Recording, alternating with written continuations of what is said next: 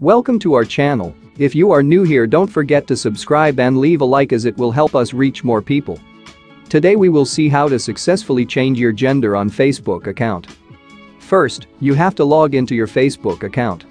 After successfully logging into your Facebook account go to your profile by clicking on the top right corner of your screen and clicking on see your profile option as shown in this video.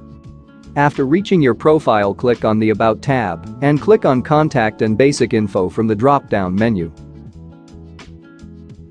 Now, under Contact and Basic Info find your gender and click on the Edit icon.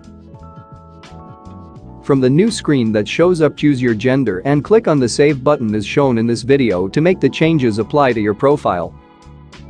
That's it, your gender in Facebook has been changed successfully. If you found this video useful consider subscribing and leave your valuable feedback as comments as it will help us improve our videos and reach more people. Thank you.